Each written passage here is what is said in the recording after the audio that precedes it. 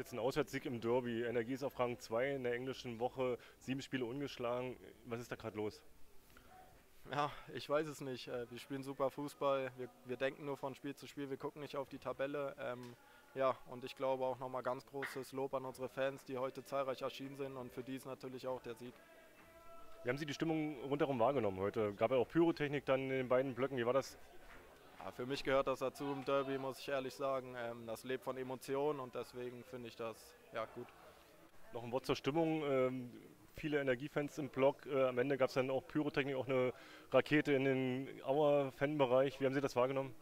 Ja, natürlich äh, unnötig. Ich weiß nicht, was genau da vorgefallen ist, aber ich denke, wenn du als Auswärtsmannschaft 3-1 führst, dann äh, kann man sich die Aktion natürlich auch sparen.